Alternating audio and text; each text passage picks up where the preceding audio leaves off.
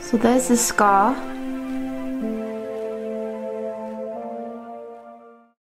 Hi and welcome back to my channel and if it's your first time here, welcome, my name's Simone. Today I'm going to do a video about my xanthelasma. If you've seen my previous video, I'll put a card up above. I did a video a year ago about how I removed my xanthelasma at home with a Wartner pen and that was like over three years ago now.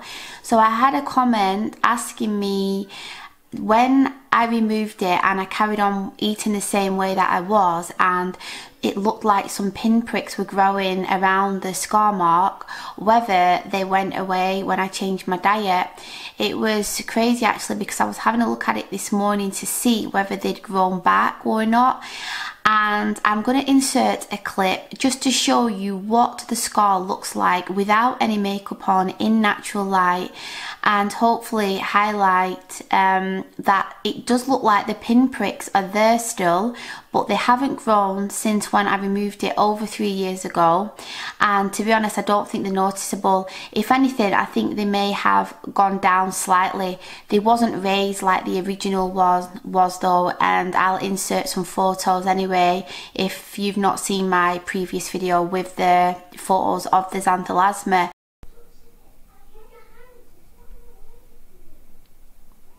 so there's the scar and the pinpricks were around this edge here but I mean I don't think you can see them. And can you see the scar is not particularly risen? It is a lighter colour but it is easier for me to cover with cover with makeup. And obviously if you're a man like I've probably made it more noticeable now because I was messing with it but to me it's not super noticeable with no makeup on so if you're a man and you're looking to remove it, then I'm wondering whether you'll get like similar results to this. But I suppose it depends what your complexion is as well.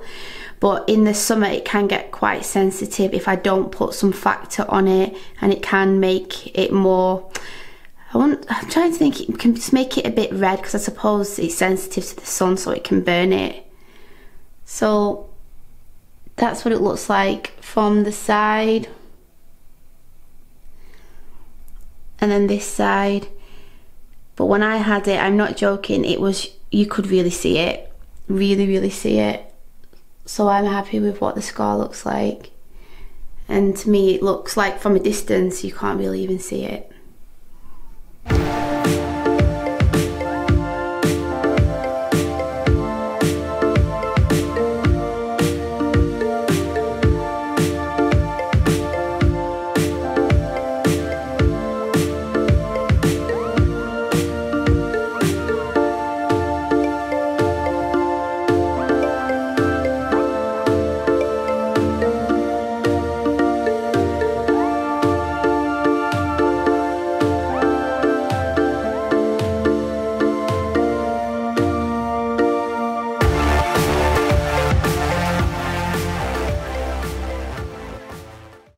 So as you can see now, I have got makeup on.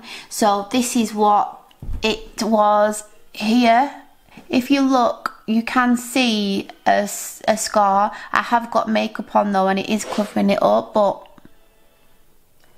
that's what it looks like when I've got makeup on and it's covered up. And obviously you'll see in the other video that I made, what I've inserted, what it looks like when I've got no makeup on at all. But personally, I feel like dealing with this scar is so much easier than when I was dealing with the xanthelasma that was raised because it was really difficult to cover up. And I was using makeup that people use for covering tattoos or scars and things like that. And it wasn't even doing a very good job of covering it up. So I'm happy with what it looks like happy that it's not come back. But as I said in my last film if you are thinking about removing it then definitely seek medical advice um, first because you know it is really sensitive around your eyes.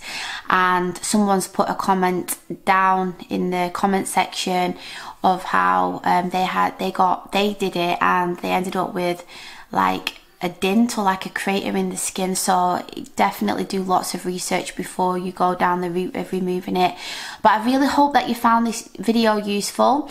And if you did, please give it a thumbs up. And I would really, really love it if you could subscribe to my channel. If you have any questions or anything, please leave them below. And if you want me to make any more videos on the xanthelasma, then I will do. Thanks for watching and I'll see you next time. Bye!